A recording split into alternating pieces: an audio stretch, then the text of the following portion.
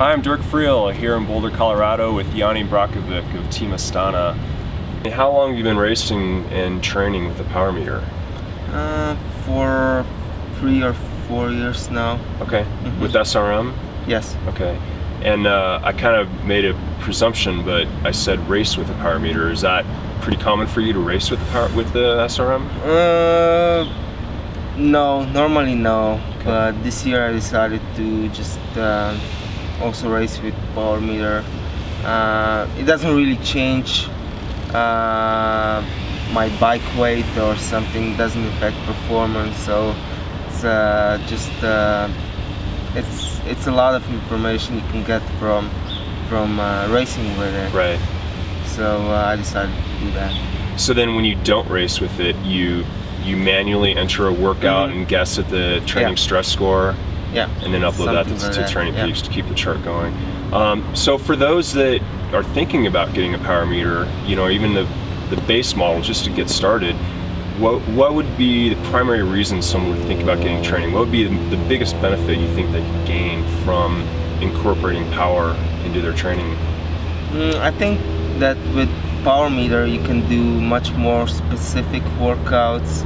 Um, it doesn't give you false data like maybe with heart rate you can uh, sometimes you can get a higher heart rate and uh, actually when you do those short intervals uh, there's no really enough time to to uh, reach that uh, target heart rate. So you don't really know what's what you've been doing. So uh, I think with with power meter you get every every hundredths of the second you get the accurate data so it's it's much more specific and accurate. Right. So do you do targeted intervals um, targeting a wattage yes. and heart rate? Yes i do. Nice.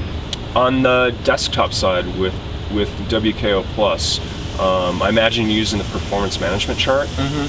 so how reliable do you find that? Do you do you does it help you guide your training or do you use it mainly for review or you know get into a little more specifics on why you use performance management chart?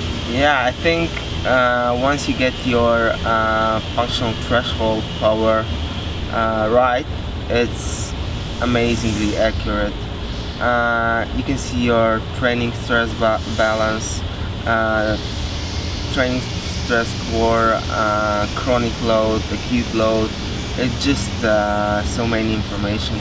So with uh, specifically with the training stress balance, or do you find there's a, a nice range where you kind of find peak form and, and you try to aim to hit your important events with a certain training stress balance? Uh, yeah, actually, uh, the best results I had uh, was when I was maybe just uh, a little above uh, above zero positive uh, maybe 10 points plus okay. was uh, was uh, was the best I uh, I've had. Wow, that's great to hear. So then, you know, we, we can't see your performance management chart right now, but could you like describe what it might look like if you looked at an entire season?